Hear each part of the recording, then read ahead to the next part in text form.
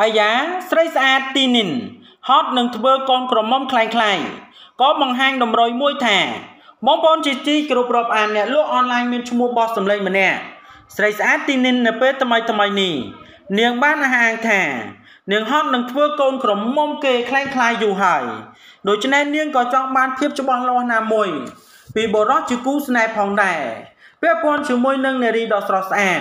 និងធ្លាប់មានរឿងអាស្រូវស្នេហា ដែលធ្វើឲ្យមានករណីផ្ទុះកក្រើកយ៉ាងខ្លាំងលើបណ្ដាញទំនាក់ទំនងសង្គម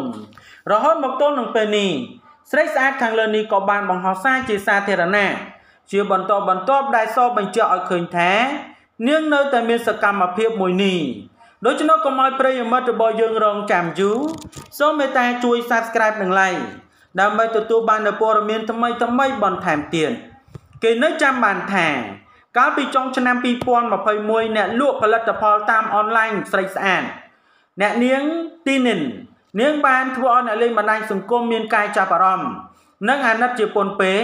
ក្រោយពេលដែលរូបនាងបានយំរៀបរាប់រឿងប្តីមានស្រី ពេលដែលខ្លួនឯងកំពុងតែមានកូនខ្ចីនោះយ៉ាងណាក៏ដោយក្រោយពេលដែលលែងលះជាមួយនឹងអតីតប្តីរួចមកធ្វើឲ្យកាន់តែមានការចាប់អារម្មណ៍កាលពីដើមឆ្នាំ2022នេះ ទីនិននាងបានបង្ហោះរូបថតខ្លួនឯងកាន់នំខេកជាច្រើនសន្លឹកដោយនៅលើនំខេកនោះមានទាំងសរសេរអក្សរជាភាសាអង់គ្លេសដែលមានន័យជាភាសាខ្មែរថា សូមអបអរសាទរចំពោះការចាក់ចែងអំពីទំនាក់ទំនងតុកសិកនិងបង្ហោះសារភ្ជាប់មកជាមួយនឹងរូបថតទាំងអស់នេះពលអ្នកលក់ផលិតផលតាមអនឡាញដ៏ស្រស់ស្អាតរូបនេះបានរៀបរាប់ទៀតថា បើខ្ញុំមិនអាចរៀបការជាមួយនឹងមនុស្សល្អបានទេខ្ញុំនឹងមិនត្រូវការបរោះណាម្នាក់ទេខ្ញុំនឹងក៏មិនខ្លាចបាត់បង់អ្វីដែលត្រូវបាត់បង់នោះដែរការនៅលីវហើយមានសន្តិភាពនៅក្នុងចិត្តគឺល្អជាងករណីនៅក្នុងការទំនាក់ទំនងដែលមានអារម្មណ៍ថានៅលីវហើយគ្មានសន្តិភាពក្នុងចិត្តខ្ញុំអាចព្យាបាលខ្លួនឯងបានល្អជាងអ្នកធ្វើចំពោះខ្ញុំ ចុះហេតុអ្វីបានជាខ្ញុំត្រូវការអ្នកចាប់ពីពេលនេះតទៅគឺគិតអំពីអាជីវកម្មខ្លួនឯងនិងចាក់ចែងអំពីជីវិតខ្ញុំព្រោះជីវិតខ្ញុំសប្បាយចិត្តដោយគ្មានមនុស្សតុកស៊ីកដូចគ្នា រហូតមកទល់នឹងពេលនេះគេក៏មិនដឹងថាអ្នកលក់អនឡាញល្បីឈ្មោះរូបនេះរកឃើញម្ចាស់បេះដូងថ្មីឬយ៉ាងណានៅឡើយទេ តែនៅពេលថ្មីថ្មីនេះរូបនាងបានបង្ហោះរូបថតជាមួយនឹងកូនសម្លាញ់របស់នាង និងបង្ហាញការចង់បានកូនម្នាក់ទៀត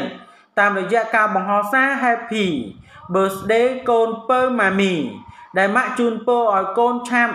បានប្អូនស្រី និងម៉ាក់នឹងចង់បានកូនមួយទៀត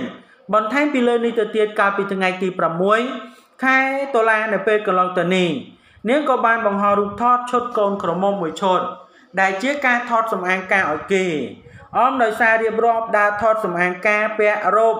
ពាក់អាវការរហូត ធ្វើឲ្យក្រមុំនឹងคล้ายคล้ายហត់ហើយខ្ញុំចង់បានកូនក្រមុំពិតមែនតែននឹងស្ដែងតែម្ដងដូច្នោះព័ត៌មាននេះមានប៉ុណ្ណឹងដើម្បីទទួលបាននូវព័ត៌មានថ្មីៗបន្ថែមទៀតសូម Subscribe និង Like